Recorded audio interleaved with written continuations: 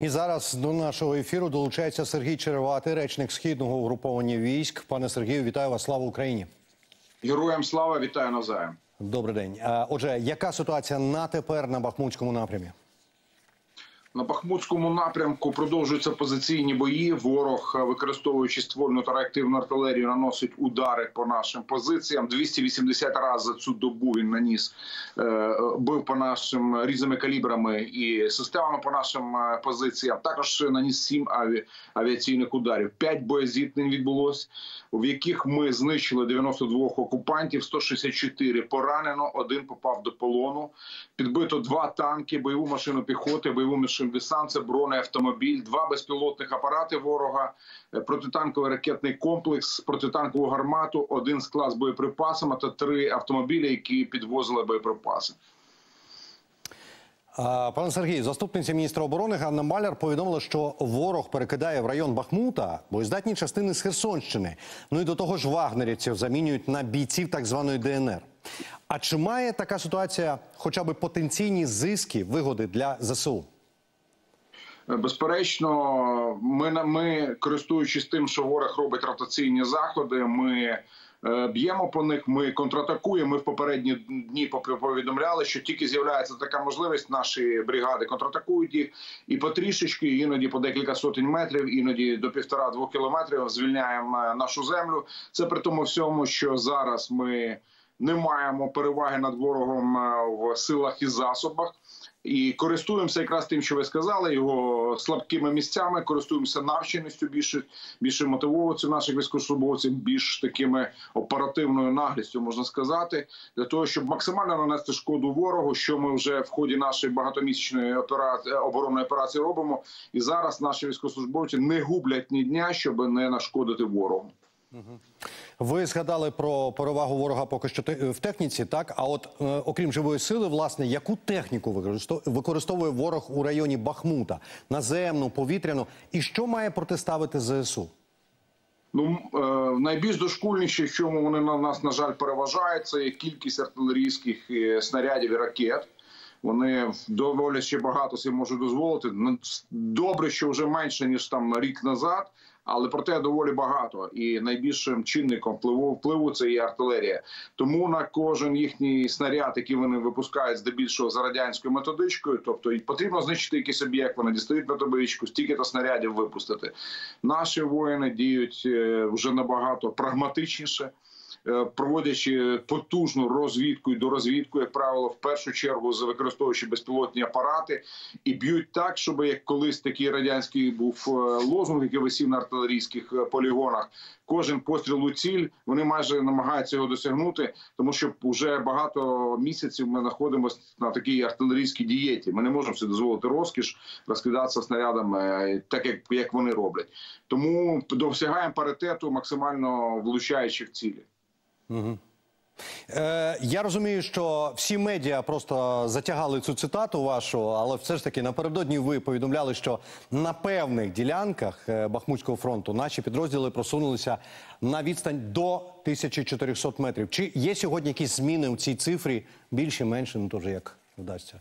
Ну, скажімо так, вони є, але ми на відміну від ворога, ми ну не не, робимо бахвальства і не, не робимо якихось там передчасних заяв. Е, ну скажімо так, е, альфою і омегою нашого командувача генерала Сивського є планування і аналіз. Е, тому ми проаналізуємо попередній наш е, наші досягнення за ці доби. Е, побачимо, що ми досягнемо, підтвердимо, верифікуємо те, що досягнули, і будемо рухатись, сплануємо і будемо рухати далі. Це вже багато місяців показує свою вірність. А також Харківська, Лиманська, Київська операція показала, що це правильний шлях. Тому тільки ми досягнемо всі ті метри, які ми кажемо, вони насправді відповідають дійсності, і вони жорстко підтверджені і верифіковані. Тому крок за кроком українська земля звільняється. Е, крок за кроком ми йдемо до, до, до того, чого ми прагнемо. Це іноді вимагає терпіння, але кожна така. Збережена хвилина це збереження життя, тому що краще сім разів відміряти, перше ніж контратакувати. Угу. Ви зазначили, що є певна проблема з артилерією. Так, і от а, я хотів якраз вас запитати, розкажіть, будь ласка, про стан справ на Лимано Куп'янському напряму. І от Чи там вдалося ворогу досягти успіхів завдяки рекордній кількості артилерійських ударів минулого тижня? А була така інформація? Чи залишається кількість ударів рекордною досі, наприклад? Ну на жаль, так вони на цьому напрямку вже багато місяців використовують набагато більше снарядів ніж на тому ж е, Бахмутському. 536 раз 36 разів вони обстріляли наші позиції за цю добу. 16 авіанальотів здійснили. Загалом відбулося 9 боєзіткнень. Зокрема, намагалися вони атакувати в районі Білогорівки. Але всі їхні штурми і цієї доби, і попередні, як і в попередні, вони були безрезультатні. 48 окупантів було знищено, 101 зазнав поранень, підбито три танки, бойову машину піхоти, БТР-80, два міномети. І рекордний був такий показник за цю добу. 12 їхніх дронів е, камікадзе було знищено е, типу ланцет, а також склад з боєприпасом угу. польовий. Пане Сергію, ну і дозвольте ще одне запитання. Воно таке не зовсім точне, я би сказав. Ну, дивіться, низка експертів, зокрема, от е, Олександр Коваленко. Ми знаємо цього експерта воєнного. Так він а, е, говорить, і ми з ним інтерв'ю робили і на інших е, для інших каналів. Він говорив про те, що в травні збройні сили України почали, як би то сказати, рекордними темпами знищувати артилерію супротивника. Так, тобто. А, отримала якусь перевагу в контрбатарейній боротьбі, наскільки я правильно розумію це військовою військовою мовою сказати.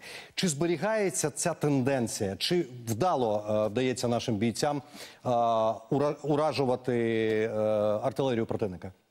Ну так я би сказав, що в плані контрбатарейної боротьби ми напевне зараз номер один в світі тому що маючи переважаючи в артилерійському плані ворога, це був єдиний шанс, крім того, що влучно вручати, більш влучно вручати, щоб вижити, зберегти свою артилерію. Це була тільки потужна контрбатарейна боротьба. Тому наші воїни, використовуючи засоби розвідки, використовуючи засоби, які дякувати їм, партнерам нашим, надали нам досить хороші засоби протибатарейної боротьби, використовують їх більше ніж на 100%. Ну я вже так трошки жартую. Тобто вони максимально витискають з них все і е, роблять все, щоб наша контрбатарейна боротьба була максимально ефективною. Угу. І це наскільки я розумію, ще в умовах оцієї снарядної дієти, так званої, правда? Так, так, так. Вони ми робимо все, щоб досягати паритету, скажімо, використовуючи те, що в НАТО кажуть smart defense, розумна оборона. У нас іншого виходу просто немає. Ми використовуємо кожен засіб, який у нас є, особливо новітній, з максимальним його ефектом.